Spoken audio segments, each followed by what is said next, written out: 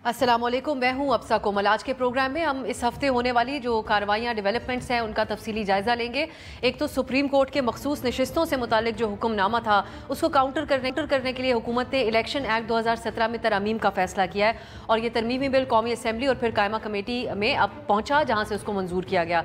आज हम ये जानने की कोशिश करेंगे कि ये जो फैसला है मखसूस नशस्तों के हवाले से सुप्रीम कोर्ट का इस पर इलेक्शन एक्ट इस पर अमल दरामद करने के बजाय इलेक्शन एक्ट लेके आना, उसमें तरमीम करना ये फ़ैसला हुकूमत के लिए कैसा साबित होगा, जो मकासद हैं, क्या वो हासिल कर पाएँगे या नहीं? एक और ऐलान था पी टी आई पर पाबंदी का, हुकूमत की तरफ़ से बाहिर ऐसा नज़र आता है कि जल्दबाजी में किया गया, मगर उसको मौखर कर दिया गया। वजह बताई गई थी कि इतिहादियों को ऑन बोर्ड लेना है, लेकिन अब विफाकी वज़ीर एहसन इकबाल साहब कहते हैं कि ये जो ताखिर है, उसकी वो वजह बयान कर रहे थे कि जब इदारे ये समझेंगे कि उनके पास तमाम सबूत है और उनका केस मज़बूत है तो फिर वो आगे बढ़ेंगे। उन्होंने कहा कि शायद इसीलिए वजारत दाखिला या उसके इदारे जो वजारत दाखिला के अंडर दीगर इदारे हैं, वो उन शवाहद का जायज़ा ले रहे हैं। सो इस पर हम डिस्कस करेंगे कि फिर इतनी उजलत में ये ऐलान क्यों किया गया और अब इसका क्या मुस्तबिल है। पी टी आई है वो मुसलसल एक कशमकश का शिकार हमें नज़र आते हैं। उनके सरबरा अपना एक बयान देते हैं और फिर उसको दिफा करने के लिए पार्टी के रहनुमा उसकी एक मुख्तलिफ़ तशरी बयान करते हैं। आ, लेकिन एक चीज़ है आ, वो बड़ी कंसिस्टेंट है वो ये है कि मुजाकर इस्टेबलिशमेंट सही होंगे वही अपना नुमाइंदा मुकर करें। सो इस हवाले से कोई मुस्बत जवाब पी टी आई को मिलेगा या कोई ब्रेक थ्रू होगा? क्योंकि एहसन इकबाल साहब ने अपनी गुफ्तु में ये भी कहा है कि इदारों से माफ़ी मांगे, उसके बाद पी टी आई की वापसी का कोई इम्कान है। तमाम मामला के ऊपर सियासी तजियाकारों से हम बात करेंगे। इस में मेरे साथ तशरीफ़ फरमाए अथर काजमी साहब, सीनियर सहाफ़ी और तजियाकार हैं। माजिद निज़ामी साहब, सीनियर सहाफ़ी, तजियाकार, इलेक्शन अमूर के ऊपर हम ख़ास तौर पर आपसे रहनुमाई हासिल करते हैं। बहुत बहुत शुक्रिया आप दोनों का। आ, मैं आगाज़ निज़ामी साहब से कर लेती हूँ। निज़ामी साहब ये पहले तो इलेक्शन एक्ट के हवाले से जो हम बात कर रहे हैं हुकूमती वज़रा अदलिया के फ़ैसले के ऊपर हर तरह हर तरह से तनकीद कर रहे हैं। उसकी आ, उसको न सिर्फ़ आइन को री राइट करने से आ, से मुतरदफ़ करार दिया जा रहा है बल्कि साथ ये भी कहा जा रहा है कि इस फैसले के बाद एक गैर अदम इसकाम किसी सूरत हाल मुल्क में कायम रहेगी। आप समझते हैं कि ये आ, जो आइनी तरमी जो इलेक्शन एक्ट में तरमीम की गई है इससे कोई फ़ायदा होगा या अल्टीमेटली सुप्रीम कोर्ट का फ़ैसला ही प्रवेल करेगा और पी टी आई को अपनी नशस्तें मिलेंगी मखसूस। जी, बहुत शुक्रिया। मुझे लगता है कि हकूमत इस वक्त कुछ ना कुछ मसाइल का शिकार इसलिए भी है कि वो अपना दो तिहाई अक्सरियत का हकूमती इतिहाद खोने की पोजीशन में नज़र नहीं आ रहे। उनका ये ख्याल है कि हमें ज़्यादा से ज़्यादा मुजामत करनी चाहिए और उस मुजामत की बुनियाद पर हमें कुछ ना कुछ नतीजा ज़रूर मिलेगा। खा उससे ये सारा मामला अल्तवा का शिकार हो जाए या इसके अंदर अगर मगर की सिचुएशन हो जाए तो इसलिए वो कानून साजी भी करते हैं, वो नज़र षानी की अपील का भी सोचते हैं। वो इलेक्शन कमीशन के ज़रिए अरकान की वाबस्तगी के हवाले से भी सवाल उठाते हैं क्योंकि हुकूमत का या रियासत का अगर मैं कहूँ तो ये मूड नहीं लग रहा कि वो इतना जल्दी सरेंडर करते हुए सुप्रीम कोर्ट के फैसले पर अमल दरामद करेगी। उसकी वजह यह है कि तहरीक इंसाफ को शायद इसकी अखलाकी फतह हासिल हो। कौमी असम्बली के स्कोर कार्ड के ऊपर उनको इतना फ़र्क नहीं पड़ेगा लेकिन ये नशस्तें जाने से हकूमती इतिहाद के लिए नुकसान ज़्यादा है। और जो कहा जा रहा था कि कुछ हम्म। कानून साजी करनी है कुछ ऐसे मामला हैं जिनके लिए दो थाई अक्सरियत चाहिए वो सारे के सारे फिर नाकाम होते नज़र आएँगे। सो इसलिए डेफिनेटली इन सारे मौजूद के ऊपर हकूमत इतनी आसानी से हथियार नहीं डालेगी और वो इसके अंदर रुकावटें मौजूद रखेगी।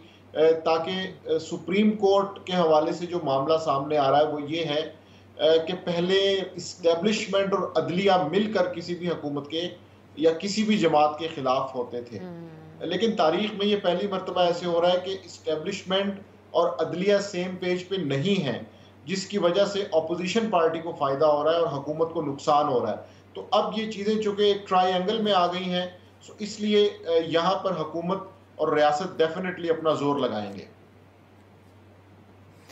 अथर जो हुकूमती दलाइल हैं कि उनको क्या तशवीश है अदलिया से जो वो इतनी तनकीद कर रहे हैं? वो ये कहते हैं को ख़ास प्रिविलेज पी टी आई को हासिल है, एक और डिबेट पॉपुलिज्म की की जाती है। और ये जिस तरह निज़ामी साहब ने कहा कि ये एक गैर मामूली सूरत हाल है जहाँ अदलिया का इदारा और अस्करी इदारा जो हमारा मुल्क का है, वो एक मुख्तलिफ़ पॉइंट ऑफ़ व्यू रखते हैं। ऐसा बाहिर नज़र आता है। लेकिन आपको ये हुकूमत की परेशानी समझ आती है जब वो कहते हैं कि पीटीआई को ख़ास प्रिविलेज है? क्योंकि पीटीआई के अपने हलकों में से इस बात का तो एतराफ़ किया गया कि बल्ले का निशान छिना, लेकिन जो फैसला साजी उसके बाद हुकूमत की तरफ़ से की गई, हालाँकि वकला का अंबार है तो वो भी कोई इतनी अच्छी नहीं थी। उसमें गलतियाँ ज़रूर बढ़ती गई। लेकिन अब अदालत ने कुछ टेक्निकलिटीज़ से आगे बढ़कर ये फैसला सुनाया है, जिसको ज़्यादातर ये राय पाई जाती है कि एक इंसाफ पे मबनी फैसला है, जिसमें पीटीआई को नशस्तें दी गई। लेकिन हुकूमत की परेशानी कहीं ना कहीं आपको समझ आती है, अदलिया के हवाले से। देखिए इसमें होना ही नहीं चाहिए हुकूमत को परेशानी। जिस तरह निज़ामी साहब ने भी कहा ना कि हुकूमत की पोजीशन पे कोई असर नहीं पड़ेगा। अगर ये सीटें तहरीक इंसाफ को मिल भी जाती हैं तो तहरीक इंसाफ कभी भी इस पोजीशन में नहीं आएगी कि वो हुकूमत बना सकें। फिर हुकूमत की परेशानी, इसका मतलब है कि हुकूमत नहीं है। हुकूमत की परेशानी ये है कि वो करना क्या चाह रहे हैं। उन सीटों को लेके वो किस किस्म की चेंजेस लाना चाह रहे हैं। अब अदलिया से वो तनाव की बात करते हैं। अदलिया के ऊपर तनकीद करते हैं और इंतहाई अफसोस से कहना पड़ता है, जिस तरह पंजाब की जो वज़ीर इंफॉर्मेशन है, उन्होंने जो जज साहिबान की घरेलू खातन के हवाले से जिस किस्म की प्रेस कॉन्फ्रेंस की, वो कतन जो है उसका किसी किस्म की गुंजाइश नहीं हो सकती उस तरह की। दूसरी बात यह है कि ये देखें इनका बयानिया ये था कि मखसूस बेंच मखसूस बेंच मखसूस बेंच था बंदयाल साहब तीन चार जजेस को बैठा लेते हैं। यहाँ पे तो फुल कोर्ट था। ये वो सारे जज साहिबान हैं जिनका ये खुद कहते थे कि ये क्यों नहीं बेंच में बैठते? तो इसमें मंसूर अली शाह साहब भी थे अतर मिनुल्ला साहब भी थे काजी फायजीसा साहब भी थे पूरा फुल बेंच था। तो वो यहाँ पे कोई मखसूस बेंच तो था नहीं। पूरी कोर्ट ने देखा चीज़ों को सामने परखा और फिर मोजिस चीफ जस्टिस साहब ने खुद भी फरमाया कि जो मेरा फैसला है उसकी गलत तशरी की इलेक्शन कमीशन ने। हम्म, हम्म। और ऐसा नहीं होना चाहिए था। तो मेरे ख्याल में अदालत ने सारी चीज़ों को ओवरऑल चीज़ों को देख के एक बड़ा मुनासिब फैसला किया। और दूसरा भी ये जो बहरानी कैफियत है कि अदलिया के साथ तनाव है और हुकूमत के साथ तनाव इसका बड़ा एक सिंपल सवाल है। जिस तरह इन्होंने काजी फायज ईसा साहब का तीन महीने से पहले नोटिफिकेशन निकाल दिया था तो ये जस्टिस मंसूर अली शाह साहब का नोटिफिकेशन निकालें कि अगले वो चीफ जस्टिस हैं आप तीन महीने रह गए हम्म। उससे भी कम टाइम रह गए क्यों नहीं ये निकाल रहे मंसूर अली शाह साहब का नोटिफिकेशन काजी फायज ईसा साहब का तो इन्होंने तीन महीने पहले निकाला था तो हुकूमत के हाथ में भी वो आज ये नोटिफिकेशन करें तो वो जो जो सारी चमगोइयाँ हो रही हैं कि वो कोई एक्सटेंशन देना चाहते हैं हम्म। ये होना चाहता है वो करना चाहते हैं तो वो सब वहीं पर ख़त्म हो जाएगा आ, ये निज़ामी साहब ये एक इट्सल्फ एक डिबेट है। इस किस्म की जो अब चमगोइयाँ होती हैं अहम अहदों के हवाले से एक्सटेंशन की आ, या किसी के अहदे को बढ़ाने की उसकी मुद्दत को बढ़ाने की ये तो पिछले कई सालों के अंदर पाकिस्तान में सबसे ज़्यादा हावी हो गई हैं तमाम सियासी डिबेट के ऊपर। हुकूमतों के बनने उनके ख़त्म होने को इस डिबेट के अराउंड जो है वो रिवॉल्व करती है। तो आप समझते हैं कि इस वक्त अगर ये जो चमगोइयाँ चीफ जस्टिस के अहदे के हवाले से हो रही हैं इसकी भी कोई वजाहत हुकूमत को कर देनी चाहिए? जी, बिल्कुल इसकी वजाहत होनी चाहिए, लेकिन हुकूमत इसकी वजाहत क्यों करे? हुकूमत ने इससे पहले जो तकरियाँ की या मुस्लिम लीग नून ने जो अपॉइंटमेंट्स की, वो डेफिनेटली एक्सटेंशंस की बुनियाद पर ही थी। और इसलिए उन्होंने स्पेशली पीडीएम हुकूमत ने और तहरीक इंसाफ ने, तमाम सियासतदान इसमें कसूरवार हैं कि उन्होंने एक्सटेंशन का एक ऐसा दरवाज़ा खोला है कि जो अब बंद होने का नाम नहीं ले रहा। हम्म। पहले वो आर्मी चीफ तक महदूद थी फिर अब वो एयर चीफ पे चली गई हैं। अब चीफ जस्टिस ऑफ़ पाकिस्तान की चीज़ें डिस्कस हो रही हैं। तो ये एक ऐसी चीज़ है कि जिसका नाम ख़त्म होने में नहीं आ रहा। तो ये वो स्पेस है जो तमाम सियासतदानों ने खुद अपने हाथ से निकाल के दूसरों को दी है। और मैं इसमें तहरीक इंसाफ समेत Muslim League Noon People's Party सबको कसूरवार समझता हूँ। और अब मेरा ख्याल है कि ये चीज़ ऐसे नहीं होनी चाहिए थी और इस हवाले से चीज़ें बहुत क्लियर रहनी चाहिए थी कि जो अपनी अहदे की मुद्दत पूरी करेगा, वो घर जाएगा। लेकिन चूँकि मामला यहाँ पर आवे का आवा ही बिगड़ा हुआ है तो इसलिए ये सारी की सारी अफवाहों को कहीं ना कहीं से ज़ोर मिलता है और उसके बाद ये चीज़ें डिस्कस होती हैं कि अब अदलिया के अंदर क्या होगा। और उसमें मुस्लिम लीग नून के लिए और तहरीक इंसाफ के लिए अहम बात यही है कि अब चूँकि अदलिया के हवाले से भी इख्तलाफी राय मौजूद है तो डिपेंडेंसी अदलिया के ऊपर भी सियासी जमातों की बढ़ती जा रही है। तो जिस तरह पहले मेरा जर्नल तुम्हारा जर्नल होता था, अब मेरा चीफ जस्टिस और तुम्हारा चीफ जस्टिस इसकी रवायत भी डलना शुरू हो गई है। आपने एक्सटेंशन की बात की 2019 में बाजवा साहब के एक्सटेंशन के वक्त में क्या हो रहा था? उसका भी कल ख्वाजा आसिफ साहब ने एक जगह इजहार किया। आगे जाके आप दोनों से उस पर बात करती हूँ। अभी हम बात करते हैं पीटीआई को बैन करने के हवाले से। अता तारर साहब ने वज़ीर इतलात ने जिस अंदाज में ऐलान किया हुकूमती जो रहनुमा है वो प्रोग्राम्स में आके उसको एक हतमी फैसले के तौर पर कि जैसे आज या कल ये फैसला होने जा रहा है इस पर इम्प्लीमेंटेशन होने जा रही है इस तरीके से बात की थी। लेकिन अब ऐसा इकबाल साहब क्या कह रहे हैं? वो आपको सुनवाते हैं, फिर इस पर हम बात करेंगे। इदारे हैं, वो इस पर सबूत जब उनके पास होगा और वो समझेंगे कि आइन और कानून के तहत they have a strong case तो they can always move forward हुकूमत ऐसा फैसला करेगी तो वो इतना मज़बूत होना चाहिए कि वो स्क्रूटनी ऑफ़ लॉ को स्टैंड कर सके तो शायद इसीलिए वजारत दाखिला हैं और उसके इदारे हैं, वो इन तमाम शवाहद का जायज़ा ले रहे होंगे। अथर, एक बात ये कही जा रही थी कि हुकूमत ऐलान करने के बाद बैकफुट पे चली गई है। लेकिन लेकिन ऐसे इकबाल साहब के इस बयान को दो तरह से देखा जा सकता है। एक तो ये कि शवाहिद अभी देखे जा रहे हैं, वो बैकफुट वाली जो थेरी अप्लाई हो जाती है उसके ऊपर। दूसरी तरफ़ कि जब वो कहते हैं स्क्रूटनी ऑफ़ लॉ का सामना कर सके तो ऐसा ठोस काम हो कि फिर उसके बाद कोई दूसरा ऑप्शन ना रहे पीटीआई के पास। आप इन दोनों में से किस ऑप्शन को देख रहे हैं इसमें? देखिए ये इसमें जो कोई सियासी फैसला या इंतज़ामी फैसला नहीं, ये शेयर जिसे कहते हैं ना डेस्परेशन इससे ज़्यादा डेस्परेट पॉलिटिकल फ़ैसला हमने अपनी हालिया तारीख में कोई नहीं देखा। ये इस मतलब कि एक ऐसी जमात जिसने सबसे ज़्यादा वोट लिए हों। हम्म। आप उनसे क्या ढूंढ रहे हैं? मतलब आप कभी एक बच्ची को पकड़ लेते हैं कहते हैं जी वो 11 लाख का अकाउंट चला रही थी। आज जो है रऊफ़ हसन साहब के ऊपर दहशत गर्दी का मुकदमा है।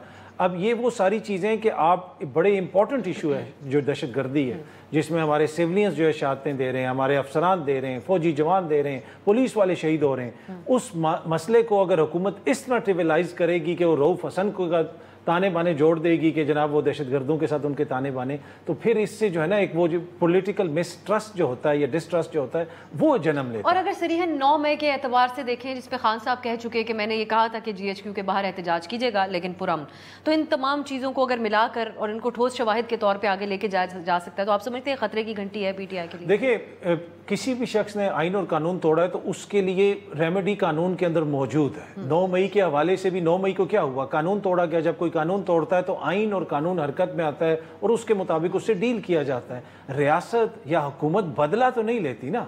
ये कोई कबायली सिस्टम तो नहीं है। ये कि खुदा न खास्ता कि रियासत कह रही है कि जी, हमने बदला लेना है क्योंकि आपने ये किया। नहीं, रियासत जस्टिस करती है, इंसाफ करती है क्योंकि उस शख्स ने आइन और कानून तोड़ा। नौ मई के आप केसेस देख लें, इमरान खान साहब को एक साल के बाद गिरफ़्तार किया।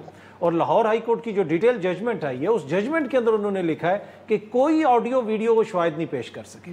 अगर उसमें भी सियासत इन्वॉल्व ना होती, अगर उसमें सियासत इन्वॉल्व ना होती, जिसने जिधर जो हरकत की होती, उसको उधर सजा मिलती तो ये चीज़ें अब तक हल हो चुकी होती। आपने आलिया हमजा मलिक को मियाँ वाली में भी डाल दिया।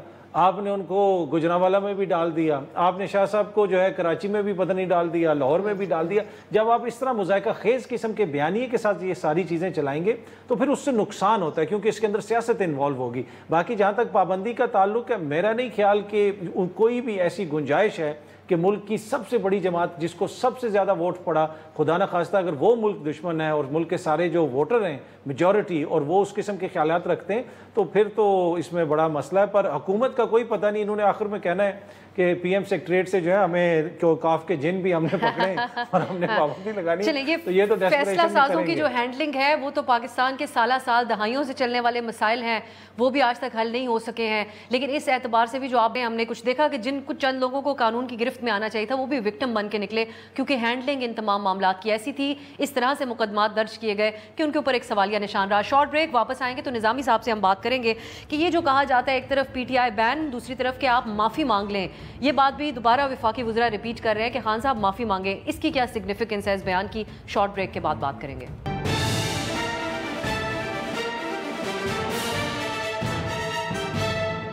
ब्रेक के बाद खुश आमदेद हम बात कर रहे हैं पीटीआई के हवाले से। पार्टी पे पाबंदी लगाने का ऐलान तो किया गया लेकिन उसके बाद हमें इस हवाले से कोई पेशरफ होती हुई नज़र नहीं आई। निज़ामी साहब आपको इसकी क्या वजह नज़र आती है आ, कि ऐलान इस ऐलान इस अंदाज में किया गया? उसके बाद अब इस एहसन इकबाल साहब कह रहे हैं कि अभी शवाहिद जो है वो देखा जा रहे हैं वो उनको देखा जा रहा है। साथ ही पी टी आई माफ़ी मांग ले। खान साहब बिलखसूस मान लें कि उस दिन क्या हुआ था उस पर निदामत का इजहार करें माफ़ी मांग लें। ये बात रिपीटेडली कही जा रही है। सो so, इससे क्या मुराद है कि अगर माफ़ी मांगे तो गुनाह धुल जाएँगे या आप कैसे देख रहे हैं इसको ये कोई ट्रैप है तो नहीं हो जाएँगे अगर माफ़ी मांगेंगे। जी ये इस नुक्ते के दो तीन पहलू हैं जिन पे मैं गुफ्तु करना चाहूँगा। पहली बात तो ये है कि डेफिनेटली तहरीक इंसाफ को नौ मई के वाक़ात से अलहदगी इख्तियार करना पड़ेगी। उसकी वजह यह है कि माजी में हमारे पास बेनज़ीर भुट्टो की मिसाल है कि उन्होंने तैयारा हाई जैकिंग से अपने आप को अलहदा किया। नवाज़ शरीफ को सुप्रीम कोर्ट हमला से अपने आप को अलहदा करना पड़ा और अब तहरीक इंसाफ को भी नौ मई से अपने आप को अलहदा करना पड़ेगा। लेकिन अब इसके अंदर जब ये मामला आता है कि इमरान खान साहब की जानब से एक, इस मामले के ऊपर कैजुअल गुफ्तु की जाती है तो उससे फिर रियासत की फ्रस्ट्रेशन में इजाफा होता है। और एक और इसमें जो दिलचस्प बात है, वो ये है कि अदालती निज़ाम की सुस्त रवि का शिकार तो पहले अवाम भी थे लेकिन अब अदालती निज़ाम की सुस्त रवि का अजाब इस्टेबलिशमेंट को भी भुगतना पड़ रहा है जिसकी वजह से वो ये समझते हैं कि प्रोसिक्यूशन के मसाइल हैं और 9 मई के हवाले से फैसले नहीं हो रहे, इसीलिए मिलिट्री कोर्ट्स का ऑप्शन भी सामने आया। सो इस सारे मामले के अंदर तहरीक इंसाफ को बैन करना मेरा ख्याल इतना आसान नहीं है और ये बात दुरुस्त है कि जिस पार्टी ने सबसे ज़्यादा वोट लिए हों उनके हवाले से ऐसी बातें नहीं होनी चाहिए। इसके साथ साथ पीटीआई अगर ये समझती है कि वो बतौर जमहूरी जमात इस मुल्क में आगे चलना चाहती है तो उन्हें भी अपने रवैये पर नज़र षानी करना होगी और इस हवाले से उन्हें एक वाज मौकफ अपनाना होगा। ये जो माफ़ी की बात हकूमती हलकों की जानब से की जाती है, ये मेरा ख्याल है उसी तनाजुर में की जाती है कि आप अगर अपने उस रवैये के ऊपर नादिम भी नहीं हैं और उस पर फ़ख्र करते हैं तो फिर उसके साथ कैसे आगे चला जा सकता है? और तहरीक इंसाफ को मेरा ख्याल है ये भी समझना चाहिए कि पार्टीज़ पर पाबंदी हकूमती एतबार से या मीडिया के अंदर तो उसकी बिल्कुल मजम्मत होती है लेकिन उससे पार्टी की एक दफ़ा कमर टूट जाती है और उसके नतज को इतने अच्छे नहीं निकलते उसके नतज डेफिनेटली संगीन होते हैं। सो इसलिए शेख मुजीबुर रहमान की बातें करना आसान तो है लेकिन क्या करेगी तहरीक इंसाफ? क्या खैबर पख्तूनख्वा को पाकिस्तान से अलहदा करेगी? वो ऑलरेडी लैंड लॉक्ड एक सूबा है सो इसलिए तहरीक इंसाफ को इस मामले पर एक वाज पॉलिसी रखते हुए नौ मई के हवाले से अपनी पोजीशन को क्लियर करना चाहिए। अदरवाइज़ उनके लिए मुश्किल में इजाफा होगा। हम्म।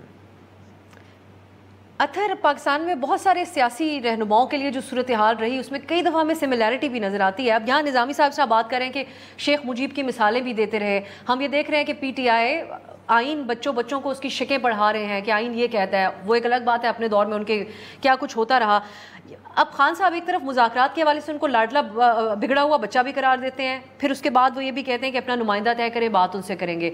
अब बैरिस्टर गौर साहब भी कहते हैं कि जो अचक जई साहब को टास्क दिया गया था हर तरह की बातचीत और मुजाकर का फौज से वो बात नहीं करेंगे, उनसे हम करेंगे। एक ओनरशिप है, एक उम्मीद है उनको कि बात जब इस्टेब्लिशमेंट से होगी तो तब भी कुछ निकलेगा। अब एक मुवजना उनका ड्रॉ किया जा रहा है कि एम क्यू एम के बानी, जो उनकी सियासत के आखिरी दिन थे, वो इस किस्म के बयान दे देते थे, बिगड़ा हुआ बच्चा और इससे कुछ ज़्यादा इंटेंसिटी वाले, और फिर उनके रहनुमा उसकी वजाहत करते रहते थे। अब ये सूरत हाल तो नहीं पैदा होती हुई नज़र आ रही पी टी आई के अंदर। ये बात अंडरस्टैंडेबल है कि लीडर जेल में है, उनसे कम्युनिकेशन का एक गैप ज़रूर है।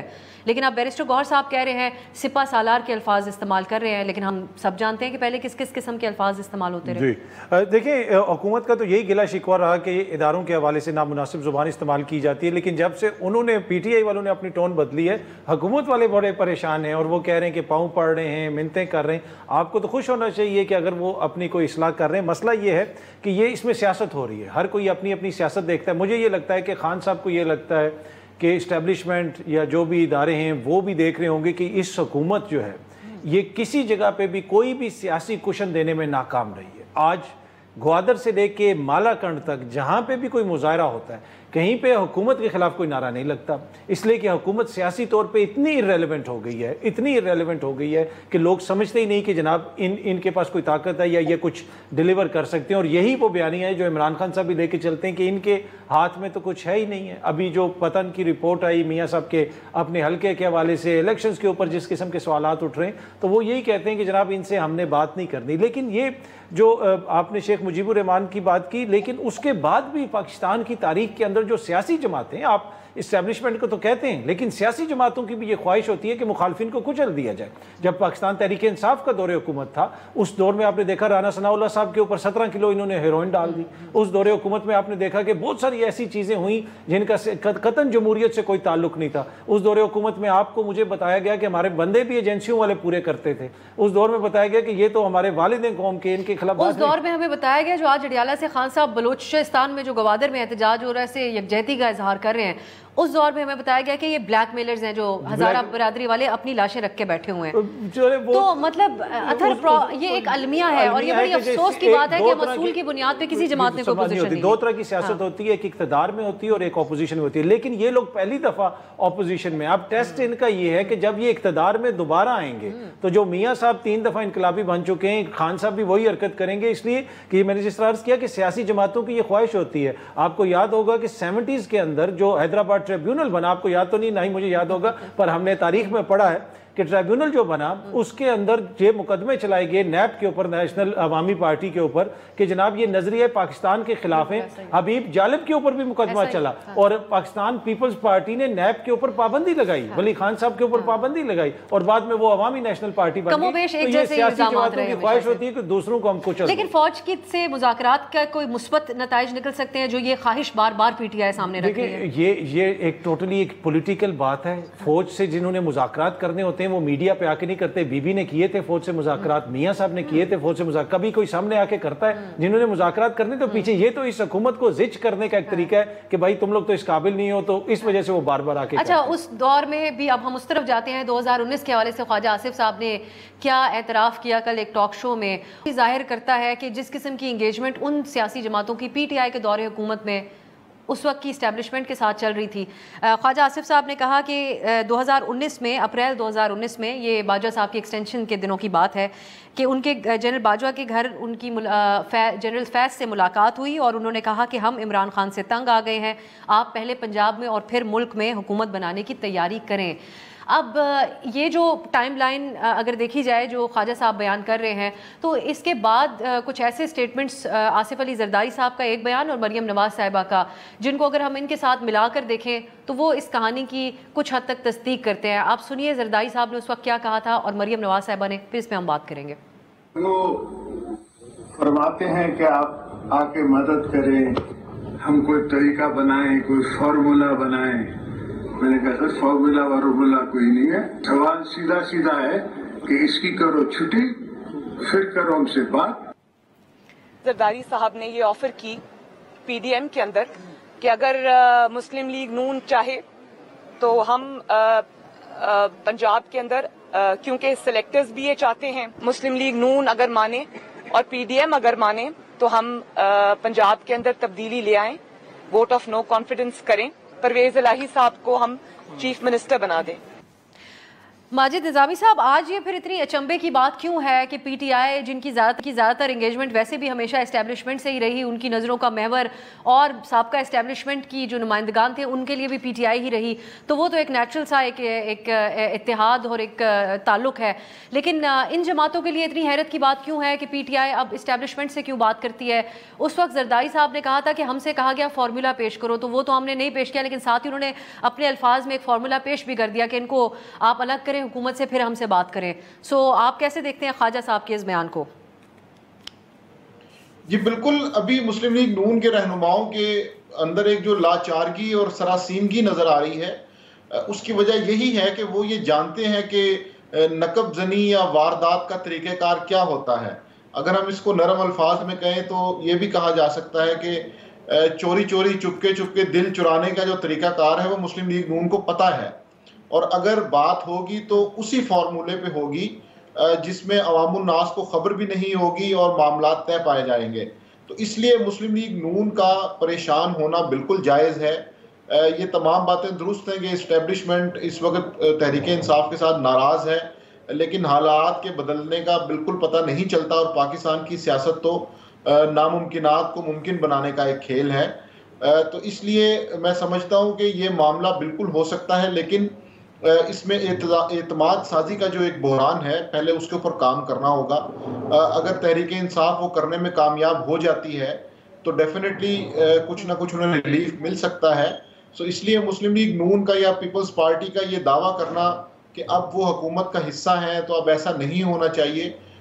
मुझे लगता है कि ये उनकी परेशानी को ज़ाहिर करता है।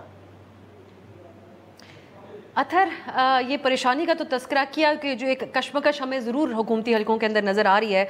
लेकिन इन सियासी जमातों की और जरदारी साहब एज अ पॉलिटिशियन उनकी दूर अंदेशी भी तो थी। जो बयान वो उस वक्त दे रहे थे, वो बहू वैसे चीज़ें हुई बाद में। ख्वाजा साहब जो बात करते हैं, वो हमें नज़र आ रहा है कि किस किस्म की तकारीर, तनकीदी किया करते थे उस वक्त की इस्टेब्लिशमेंट पर नाम लेकर। लेकिन फिर वो इंगेज भी कर रहे थे इस सतह के ऊपर। बाजा साहब की एक्सटेंशन में उन्होंने वोट भी दिया। ये तो फ़र्क है ना पी टी आई सियासत इस किस्म की नहीं करती। बल्कि जब ये लोग करते हैं तो उसको भी वो लोग एक मुनाफ्त कहते हैं, इसको एक अच्छी लाइट में नहीं देखते। लेकिन इसको कहते तो सियासत ही है। तो ये पुल ऑफ़ कर पाएगी पीटीआई, जो इन जमातों ने किया। देखें ये ख्वाजा आसिफ साहब पहले तो ये बताए ना कि वो जनरल बाजवा से मिलने क्यों जाते थे? मतलब वो मिलने गए उन्होंने कहा कि गैर मशरूत हमने कहा आपको एक्सटेंशन दे वो कहते हैं कानून साजी के लिए भी वो लोग तो मानते हैं ना कि हमसे उस टाइम इस्टेब्लिशमेंट की राब्ते में इट मींस के वो इस्टेब्लिशमेंट के साथ रबते में थे। जरदारी साहब का जो आपने बयान चलाया तो जरदारी साहब ने कहा हाँ। कि पहले उसको फारिग करो फिर हमसे बात करो। तो ये इन इन लोगों ने भी कभी ये नहीं कहा था कि हम इमरान खान से बात करेंगे। इनकी भी जो ख्वाहिश थी उसका ये बरमला इजहार करते थे कि हमसे कोई और बात कर लो जब बात हो गई उसके बाद मामला सारे हल हो गए। अभी भी यही इशू है कि जो इस वक्त हुक्मरान है। उनको पता है कि बात जब होगी तो हमें पता भी नहीं चलेगा और इसी तरीके से जो है एकदम से सारी चीज़ें चेंज हो जाएँगी। लेकिन उस वक्त जो थोड़ा सा इमरान खान को जो एडवांटेज हासिल था वो एडवांटेज ये था कि उस दौर के अंदर जो भी क्रिटिसिज्म होता था अच्छा होता था या बुरा होता था वो उसके ऊपर सियासी क्वेश्चन बहुत ज़्यादा था। इमरान खान साहब की ज़ात को टारगेट किया जाता था, उनकी जमात को टारगेट किया जाता था, बुजदार साहब को टारगेट किया जाता था। ये लोग तो अब बिल्कुल ही जिसे आप कहते हैं ना कि उस पोजीशन में कि जहाँ पे ये पर्कस एंड प्रिवलेजेस सारे इंजॉय कर रहे हैं, ये दुनिया घूम रहे हैं, ये हुक्मरानी भी कर रहे हैं, लेकिन मलबा ये सारा इस्टेब्लिशमेंट में डाल देते हैं। कि जैसे कि सब कुछ जो है वो इस्टेब्लिशमेंट के हाथ में है कि इनके अपने वजरा बैठ के जब टीवी पे ये कहें लेकिन कुछ हद तक ज़िम्मेदारी इस्टेब्लिशमेंट की भी तो है ना। मामला सियासत के अंदर उनकी इस हद तक इन्वॉल्वमेंट रही। कि आज सियासतदान ओनरशिप लेने को तैयार नहीं? आपके फाइनेंस मिनिस्टर के हवाले से तासुर यही है कि वो ऑब्वियसली नून लीग से तो है नहीं। आपके दाखिला के अहम तरीन वज़ीर। तो आप नहीं समझते अतर कि ये एक नेचुरल सा रिस्पॉन्स है इन जमातों का भी कि जिस हद तक आपने मैनेज कर वो आपको करने पड़ेंगे वो वाले काम? नहीं देखिए ना मसला ये है कि जब ये जमातें बातें इस तरह करती हैं कि जैसे यूनान से हाँ। ये जमहूरियत की फ्रेंचाइज लेके आए थे। और ये जिस तरह की बातें करते हैं कि जमहूरियत को मज़बूत ही हमने किया। पर खुद जब ये टीवी पे आके ये कहें कि मोहसिन नकवी साहब अगर चाहें तो वजी अजम भी बन जाएँ। ये प्राइवेट मीटिंग्स में सहाफ़ियों को ये कहें कि ये चीज़ तो हमारे हाथ में ही नहीं है। ये तो सारी इस्टेब्लिशमेंट चला रही है। आप मलबा सारा उनके ऊपर डालते रहें। और साथ साथ आप जमहूरीत का राग भी अलापें। या तो फिर आप खुल के कहें कि ठीक है जहाँ जो आपने बात की कि इस्टेब्लिशमेंट का किरदार उसमें कोई दो राय नहीं है। इस्टेब्लिशमेंट का हमेशा से किरदार रहा है खान साहब के दौर में भी रहा है और इस्टेब्लिशमेंट ने बरमला इसका इजहार भी किया। लेकिन it takes two to tango ठीक है कि नहीं? जो जहाँ पे इनको फ़ायदा होता है वहाँ पे इनको स्टेब्लिशमेंट कौम की वालिद नज़र आती है हाँ। यहाँ पे इनको फ़ायदा होता है इनको स्टेब्लिशमेंट जो है वो मुल्क दुश्मनों के आगे खड़ी दीवार नज़र आती हाँ। है पर यहाँ पे इनको फ़ायदा नहीं होता एकदम से स्टेब्लिशमेंट जो है बुरी हो जाए और ये बातें अब बड़ी वाजे तौर पर सामने आ चुकी हैं बहुत शुक्रिया अथर आपका माजिद निजामी साहब आप दोनों का बहुत बहुत तभी हम नाजरीन कई दफ़ा अपने प्रोग्राम में कहते हैं कि इस्टेब्लिशमेंट से मुतल जो मामला हैं और इस्टेब्लिशमेंट के ऊपर इहिसार है उस एतबार से अगर देखा जाए तो पीटीआई और नून लीग आज की तारीख में हमें सिक्के के दो रुख नज़र आते हैं। आने वाले दिनों में देखते हैं कि इस हवाले से क्या होता है। एक शॉर्ट ब्रेक वापस आएँगे। हमारे साथ अहमद बिलाल महबूब साहब मौजूद होंगे। इन्हीं मौजूद के हवाले से, बिलखसूस इलेक्शन एक्ट के हवाले से जो तरमीम की गई है, उस पर उनका तजिया शॉर्ट ब्रेक के बाद।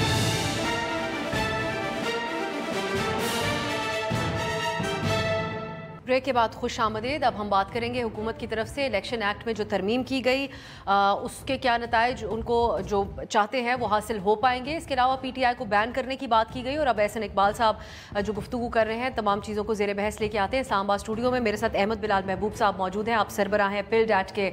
बहुत बहुत शुक्रिया अहमद बिलाल साहब। ये मैं आपसे जानना चाहूँगी सर कि जो तरमीम की गई है इलेक्शन एक्ट में एक मुतफ़ा राय हमें कानूनी माहरीन की नज़र आती है कि ये जो सुप्रीम कोर्ट का फैसला उसका तोड़ का तोड़ निकालने के लिए ये हरबा है हुकूमत का। तो आपकी नज़र में ये इस पर कामयाब हो पाएँगे जो भी अचीव करना चाह रहे हैं या ये एक तनाज़े की सूरत हाल आगे इख्तियार करेगा? बहुत शुक्रिया। ये बिल्कुल मैं मुतफ़ हूँ कि ये सुप्रीम कोर्ट का जो जजमेंट है बारह जुलाई का, उसको अंडू करने के लिए है ये, बुनियादी तौर पे कि वो जजमेंट उसके ऊपर अमल ना हो सके। तो ये तो बात तय है। अब ये कामयाब होगा या नहीं होगा ये तो वक्त बताएगा लेकिन कम अज़ कम ये होगा कि यह मुतनाज़ा सा मामला हो जाएगा और मुझे कुछ सूरत हाल उस तरह की नज़र आ रही है जैसे पहले इलेक्शन करवाने के बारे में सुप्रीम कोर्ट की एक डायरेक्शन आई थी और पार्लियामेंट ने मिल के हम्म। वो सारा कुछ पार्लियामेंट ने मिल के उसको नाकाम कर दिया था हम्म। यानी करारदादें पास करके और मुख्तलिफ़ तरीक़ों से इलेक्शन कमीशन ने भी उसमें शामिल था तो मुझे ये लग रहा है कि आइंदा ये सूरत हाल उस तरह की हो जाएगी। आ, तो मुतनाज़ भी अगर हो जाए और उस तरह की सूरत हाल भी हो जाए तो भी मुस्लिम लीग नवाज़ को तो फ़ायदा है। क्योंकि अगर मुतनाज़ भी रहे और उसके ऊपर अमल ना हो सके तो पी टी आई को तो सीटें नहीं मिलेंगी। खा पी एम एल एन को मिलें उसके साथियों को मिलें या ना मिलें लेकिन ये रहेगा। तो मुतनाज़ा की तरफ़ जाएगा। मुझे नहीं ख्याल कि इसके अलावा कुछ दूसरी रास्ता भी हो सकता है। इसमें लेकिन गुंजाइश अहमद बिलाल साहब जो हुकूमत की तनकीद है अदालती फैसले के हवाले से कि इन्होंने आइन को री राइट किया।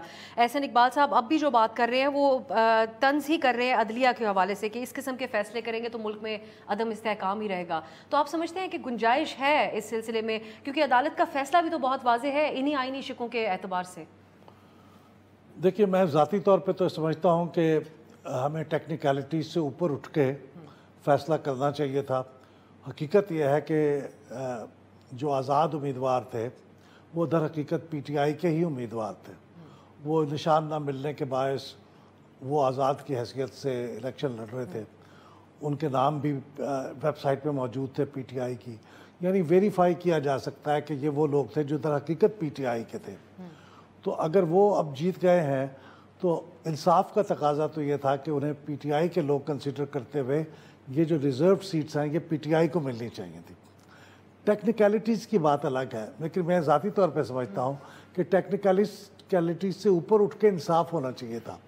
तो जो सुप्रीम कोर्ट का फुल कोर्ट थी, उसके अंदर भी ये दो किस्म के ग्रुप थे। एक ग्रुप ये था जो ये समझता था कि टेक्निकलिटी से ऊपर उठ के हमें फैसला करना चाहिए। जो मेजॉरिटी में निकला आठ लोगों ने। और एक दूसरा ग्रुप था जो टेक्निकलिटीज़ के मुताबिक, यानी कानून की लेटर के मुताबिक चाहता था। तो ये जो आठ जजों का फैसला है, कानून के लेटर के मुताबिक शायद इतना नहीं है, लेकिन उसकी स्पिरिट के मुताबिक है। और इंसाफ करता है ये। मैं समझता हूँ कि इंसाफ हुआ इससे। जो डिज़र्व करता था, उसे मिलनी चाहिए नशस्तें। उसके हिसाब से इंसाफ हुआ। लेकिन चूँकि ये कानून के लेटर के मुताबिक नहीं है चंद चीज़ों के बारे में और इसलिए कहा जा सकता है आर्गुएबली कि ये rewriting of the law rewriting of the constitution है। तो इसलिए ये थोड़ा सा इस लिहाज से मुतनाज़ है।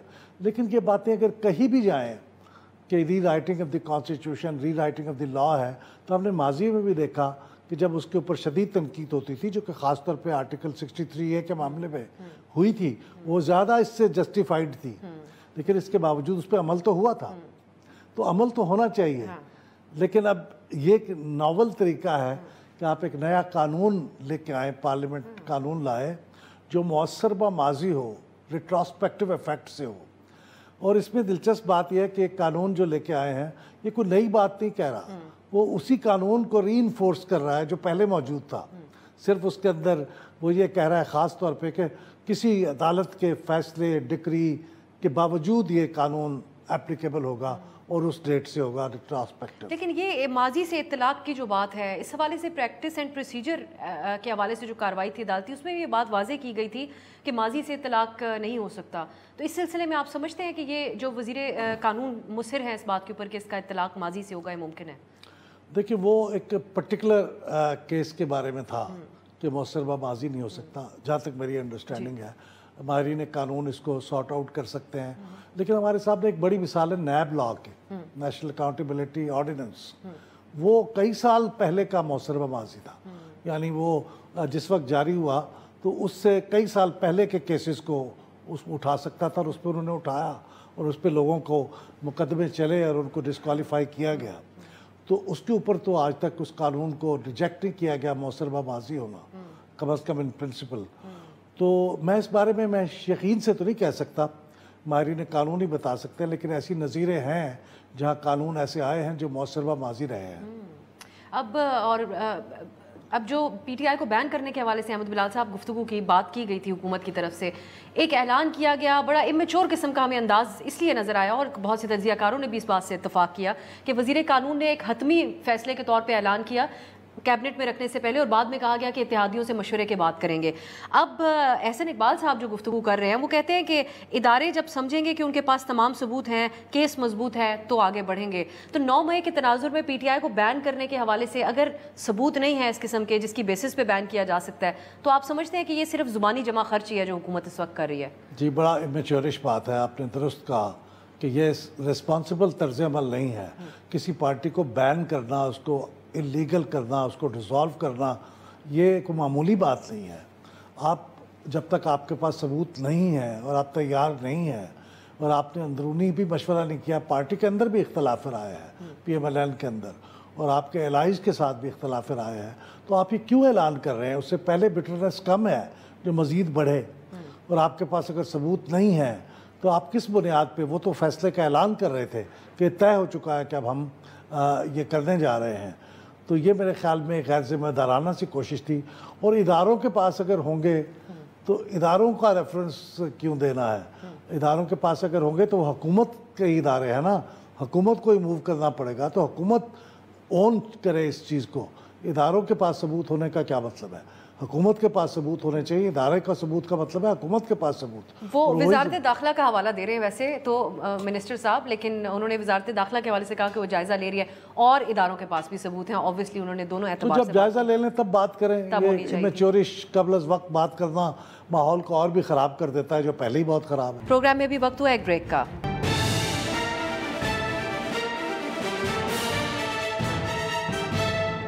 ब्रेक के बाद खुश आमदीद। आजकल जो सूरत हाल है उसमें आप समझते हैं कि ये स्टैंड कर सकता है फैसला? अगर ये पाबंदी लगा भी देते हैं पार्टी के ऊपर। ये मेरे ख्याल में नो विन सिचुएशन है। इसलिए नो विन सिचुएशन है कि अगर वर्स्ट केस सपोज़ कर लें कि पार्टी को सुप्रीम कोर्ट एग्री कर लेती है कि वाकई ये अनलाफुल है और इसको डिज़ोल्व कर देना चाहिए तो क्या होगा? तो ये होगा कि जिस दिन ये पार्टी डिज़ोल्व होगी उससे दो दिन के बाद एक नई पार्टी बन जाएगी। इससे मिलते जुलते नाम के साथ जैसे हमने माजी में देखा नेशनल अवामी पार्टी डिज़ोल्व हुई तो चंद थोड़ी अरसे में अवामी नेशनल पार्टी बन और आज तक कायम है? और कायम है और वही सारे लोग उसके अंदर शामिल हो गए।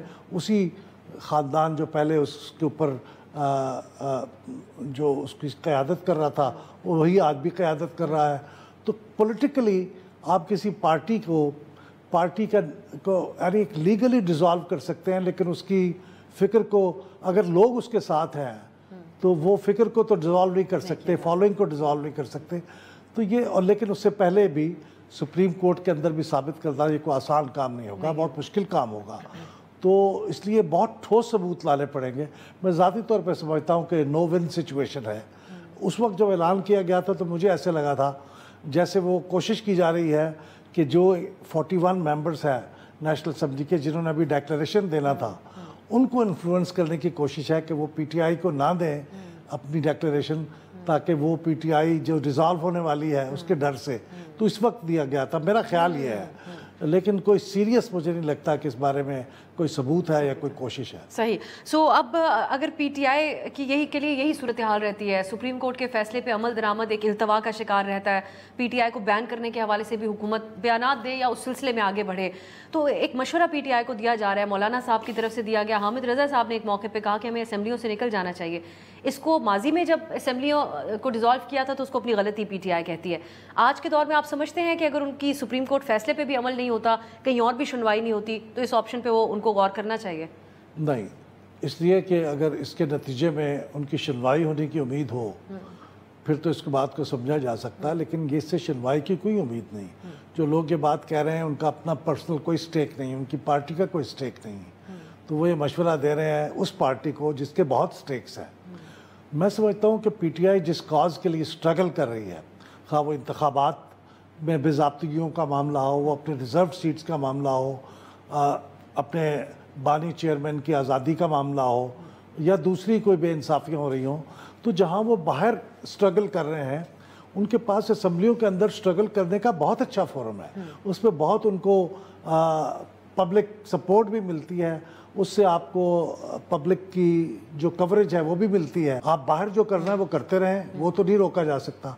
लेकिन मैं हैरान होता हूँ कि जब आप अंदर स्ट्रगल करने की बजाय बाहर बैठ के भूख हड़ताल कर रहे होते हैं और जब अंदर आपको जाके प्लेटफॉर्म मिल रहा है, उसमें क्यों नहीं स्ट्रगल करते? आप बाहर जो करना है वो करते रहें, वो आपकी अपनी पॉलिसी है। लेकिन इस प्लेटफॉर्म को नहीं छोड़ना चाहिए। जिससे छोड़ने से कोई फ़ायदा होने का इम्कान मुझे नज़र आता बल्कि आपको लगता है कि नुकसान ही होगा? नुकसान ही होगा। अच्छा अब एक, एक आखिर में मैं अहमद बिलाल साहब बहुत सी तंजीमें तो जो इंतबात हैं उनका जायज़ा उनका ऑडिट कर रही हैं और मुख्तलिफ़ हवालों से हमें खबर मिलती है। तो अब आप भी पिल्ड एक्ट में भी इस हवाले से कोई काम हो रहा है? और दूसरा ट्राइब्यूनल्स अगर अपना काम शुरू कर देते अभी तक तो कुछ क्लैरिटी आ चुकी होती और क्या हुकूमत के लिए एक ख़तरे की घंटी बच चुकी होती? एक ये भी बड़ी आम राय पाई जाती है। मेरे ख्याल में ये जो हवाला बाज पीटीआई के कायदीन देते हैं ना कि नवंबर दिसंबर में अक्टूबर में आ, हम इकतदार में होंगे हम्म। और हम सबसे बड़ी हम मजारटी पार्टी बन जाएँगे। तो इसी चीज़ को रेफ़र कर रहे होते हैं। देखिए इस बारे में इसको रूल आउट नहीं किया जा सकता। इसलिए कि हमने चंद हलकों की जो स्क्रूटनी की थी उसमें हमें बहुत फार्म 45 के अंदर बेजाबतगियाँ नज़र आई थी। ओवर राइटिंग नज़र आई थी चेंज नज़र आई थी और उस चेंज का एक डायरेक्शन था। एंटी पीटीआई जो कैंडिडेट्स थे, उनको फ़ायदा पहुंचाना। तो ये अगर फॉर्म अगर ट्राइब्यूनल काम करेंगे और काम कर रहे हैं सिवाय पंजाब के, बाकी तो सब बने हुए हैं तो अगर वो पंजाब के और शायद इस्लामाबाद के तो बाकी अगर इस फॉर्म्स को तलब करेंगे और फॉर्म सामने देखेंगे और उनको ये नज़र आएगा तो पीटीआई को फ़ायदा हो सकता है बड़े पैमाने पे। इस बात का बड़ा इम्कान है और ख़ास तौर पे इस वक्त जो हमारी जुडिशरी का मूड है वो फियर्सली इंडिपेंडेंट है। वो किसी दबाव को खातिर में लाने के मूड में नहीं है। तो मेरा ख्याल में कि वो फैसले सही करेंगे। तो ये ट्राइब्यूनल्स के ऊपर भी परसू करना चाहिए कि उसके ऊपर मामला ताखीर का शिकार ना हो। ये पीटीआई को कोशिश करनी चाहिए। खैबर पख्तूनख्वा में आ, आ, सिंध के अंदर बलूचिस्तान के अंदर तो ट्राइब्यूनल्स बन चुके हैं। उनको ताखिर का शिकार नहीं होना चाहिए। और कोशिश करनी चाहिए कि पंजाब में भी हो जाए। मेरे ख्याल वो बात करके आ चुके हैं। चीफ जस्टिस साहबा के साथ चीफ इलेक्शन कमिश्नर साहब। अब उसके बाद को फैसला होना चाहिए। सुप्रीम कोर्ट ने डायरेक्शन दी थी कि बात करें। तो अब सुप्रीम कोर्ट को रिपोर्ट तलब करनी चाहिए भाई क्या हुआ? ताकि पंजाब में भी ट्राइब्यूनल्स काम करें जहाँ सबसे ज़्यादा ट्राइब्यूनल्स होंगे। काम तो फिर यानी आप समझते हैं कि ट्राइब्यूनल जब काम करना शुरू करेंगे तो हुकूमत के लिए परेशानी का सबब ज़रूर परेशानी का सबब होगा और उसके नतीजे में देखिए अगर अब मुझे नहीं पता अब क्या सूरत होगी क्योंकि रिज़र्व सीट्स अगर मिल जाती पीटीआई को और उसके बाद फिर ट्राइब्यूनल्स के फैसले में भी कुछ सीटें आ जाती तो पीटीआई का मेजोरिटी पार्टी बनने के इम्कान बड़े रोशन हो जाते हैं। लेकिन अब इसलिए पेशबीनी की जा रही है कि वो रिज़र्व सीटें भी ना मिलें। और बाद में वो पता नहीं उसका क्या मामला होगा। ये तो वो कर सकते हैं। हम्म। गालबन ट्राइब्यूनल्स के फैसलों को वो नहीं रोक सके असूली तौर पे ऐसा हो सकता था लेकिन हमारे यहाँ जो माहौल है उसमें अगर मगर बहुत ज़्यादा है तो हाँ। बहुत शुक्रिया। अहमद बिलाल साहब आपने हमारी रहनुमाई की इस हवाले से अपने कीमती वक्त और कीमती राय का बहुत बहुत शुक्रिया। नाम आपने मुलायजा किया। ट्राइब्यूनल्स के हवाले से अब आगे क्या कार्रवाई चलती है इसका आने वाले दिनों में ज़रूर जायज़ा लेते रहेंगे। आज के लिए इजाज़त दीजिए। खुदा हाफिज़।